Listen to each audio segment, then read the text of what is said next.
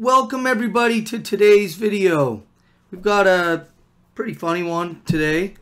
Um, we're going to start off here from De La Cruz Mexican Cuisine. Really like that place. Shout out to them.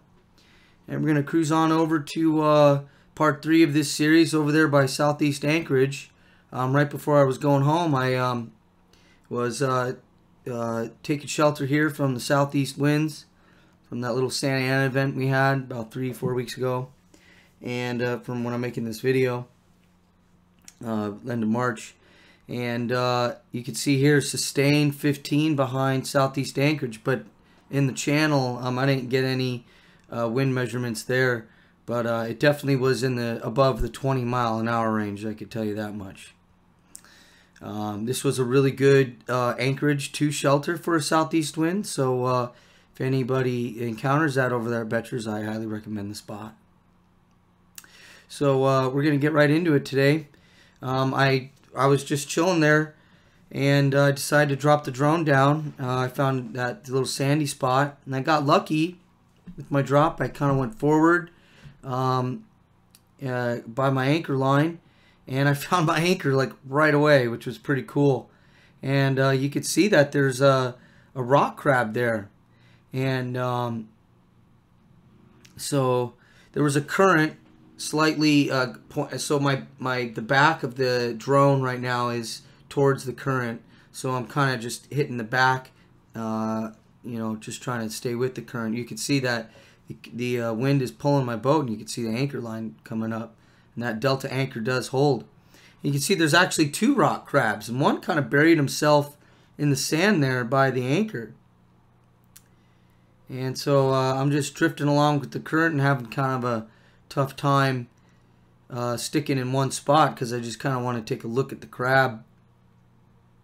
I didn't know that there would be rock crab kind of in the middle of this uh, sandy patch, but um, you know, next time I'm I'm gonna bring at least one hoop now and try and get the crabs. That'd be nice to have a couple of those claws to add to the uh, um, rockfish harvest here and you can kind of see that um, you know he's like that's pretty funny. Uh, he's uh, just chilling right by the anchor there. Um, you know I don't know what he's doing there but I think that's pretty cool. Anyway I'm gonna let the kind of drone play out here and uh, I'll uh, catch back with you in the important segments of this video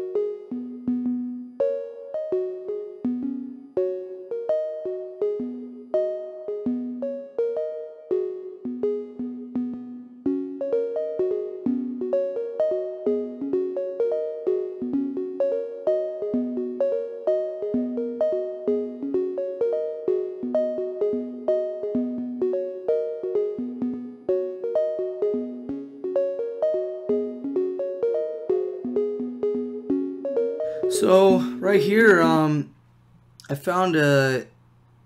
I found out what these things are. These are tube anemones, and um, I don't think they have their filter feeding things out right now. Um, but I'm, I'm pretty sure they're tube anemones. Please, somebody correct me if I'm if I'm incorrect in the uh, comments below. And um, but I found these and I thought that was kind of cool. I didn't think I was gonna see anything really in this sandy bottom, but apparently there's there's a bunch of stuff everywhere. Um, using this drone, I've really understood um, or got a better understanding on how much life is out there uh, on these sandy bottoms where you think that there might not be any, but there's tons. It's everywhere, everywhere. Um, just might not be fish.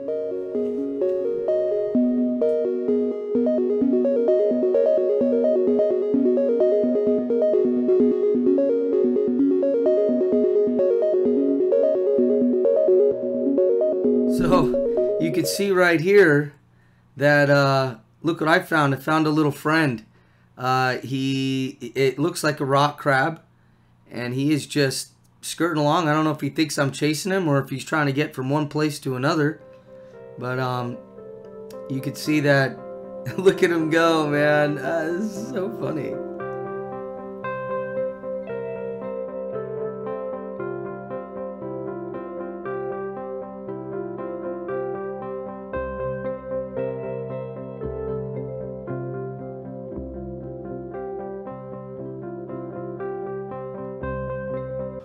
Alright, so right here, you can kind of see a glass bottle that is where that crab stopped. Um, and then there's another crab right here. Um, I don't know what this crab is, but I'm going to take a guess and say that it is a uh, small sheep crab. Maybe that just molted. I am not sure. Um, it does sure look like a sheep crab and it definitely has starting to get some uh, barnacles and stuff on it which they like to decorate themselves with. But I thought this was pretty funny. Watch this. I think these are these two crabs are mating so I'm gonna let you guys watch it. I'm gonna let them have their